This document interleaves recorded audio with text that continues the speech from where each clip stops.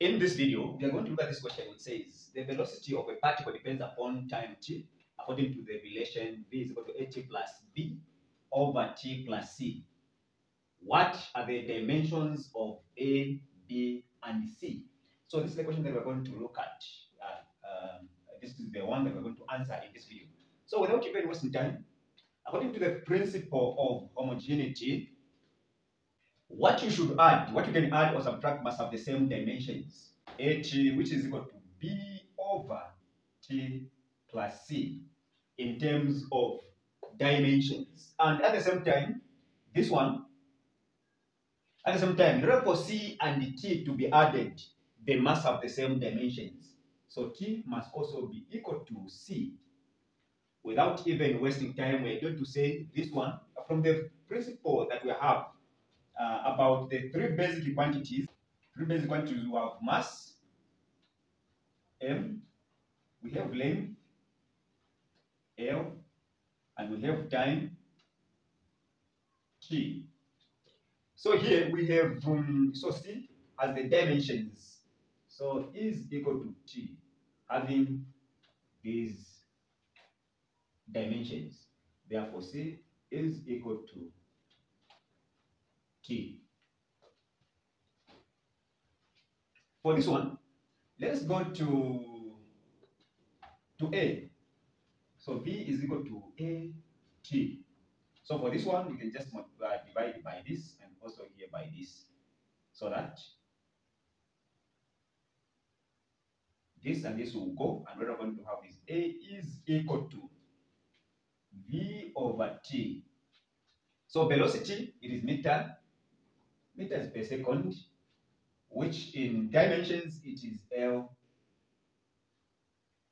like this, which is LT to the power negative 1 in terms of dimensions. So from this, we can plug in LT to the power negative 1 over T. When this one comes up, it is going to be LT negative 1, T negative 1.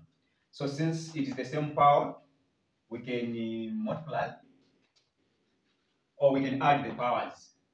So we have A is equal to L, T negative 1 plus, my, uh, plus, uh, plus minus 1, which is negative 1 minus 1, it is negative 2. So A has the dimensions of acceleration. In terms of units, in fact, it is the one that gives these units, meter per second squared. Then for B, B, we, we can use any relation. B is equal to B over T plus C. So this, we said J is equal to C in terms of dimensions. So, okay, B is equal to B over T.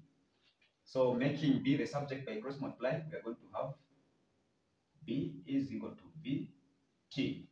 In terms of uh, dimensions, have for B, it is L T to the power negative 1, then T. So this is the plus 1.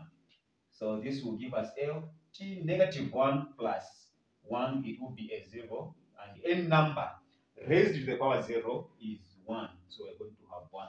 So the dimensions for B, it is this.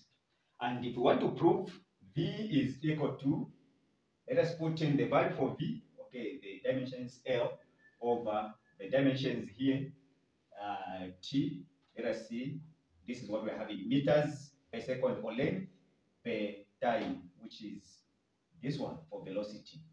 Meaning, B is correct also. So this is how we need to answer this question.